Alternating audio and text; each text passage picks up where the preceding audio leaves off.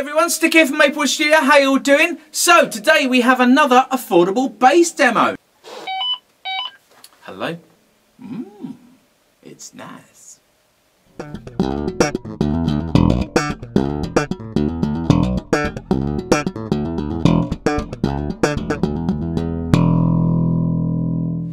Okay, so this is the Music Man Sterling Sub-Series Stingray 4 bass guitar. Unlike its big brother, this is very, very affordable. It's sub £400. Um, it's really well built. It sounds great. Let me take you through what we've got on offer here.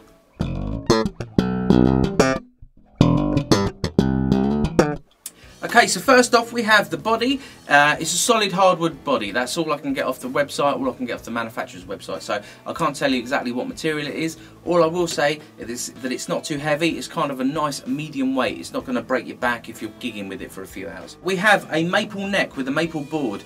Um, really nice feeling neck. It's kind of got a satin finish on it. I think they describe it as a satin tinted neck. Um, so it's not horribly sticky like lacquer and all that kind of stuff. It's just got a really nice feel to it. On the subject of the neck, the nut is slightly narrower than your traditional kind of jazz and P bass. We've got a 38mm uh, nut width there. So it feels a little bit narrow in the hand up here. Um, and you'll either love it or you hate it. Personally, I find it really, really comfy. It's a really comfy neck to play. We've got medium jumbo frets, quite nice and chunky, but they're not massive. We've got good quality tuners, even on an affordable bass, uh, which is a really good plus. They hold tuning well. I've restrung this as usual with my strings of choice, which are the D'Addario uh, Pro Steels. Um, and yeah, they tuned up well, it's held tuning great really nice to use. That's funny, it's all on camera. Going back to the neck quickly, something that Music Man offer, which not many uh, manufacturers do, is this very funky little wheel in here. I don't know if that will come through with the black wheel and the black pickguard, uh, but it's a truss rod adjustment. Um, so for those of you who don't know, usually to adjust the truss rod you'll have to stick an Allen key, uh, take a, a, cover off the top of the neck um, and stick an Allen key in there, or you have to sort of wedge an Allen key in a groove down here, or on some of the more vintage style guitars, you actually have to take the neck off and adjust them. So having this little wheel in here where you just shove an Allen key in, give it a quick turn, really cool feature. On the subject of the neck still, we've got a six bolt-on neck, or six screw bolt-on neck, so it's really solid, and you can just see up here the battery cover for the active electronics, which we'll come on to in a minute. Uh, pickup wise, we've got one fat humbucker in here, that's very typical of your classic Stingray bass. Um, the bridge is a good solid bridge, modelled obviously on the traditional kind of Music Man bridge again. It's fully adjustable so you're going to get all your intonation or your action that you want out of this bridge. It's not limiting in any way, which is really nice. Control wise, you can see we've got a volume at the front and then we have the two band EQ. So we've got basically a treble and a bass, which we will, um, I'll go over all the sounds and how much boost and cut we've got going on on each one when we plug it in. And we've got the jack socket at the back here, so a front loading jack socket. Um, and as you can see, the control cavity, there's no cavity plate on the back, so it's routed into the body. Very simple, if you should you want to change anything, get your, your fingers in there and tweak stuff. Um, and you can see we've got this classic teardrop pick guard here. So it pretty much looks like a standard Music Man. If you flip it over, it says made in Indonesia. Don't let that put you off though. This looks, feels, plays excellent.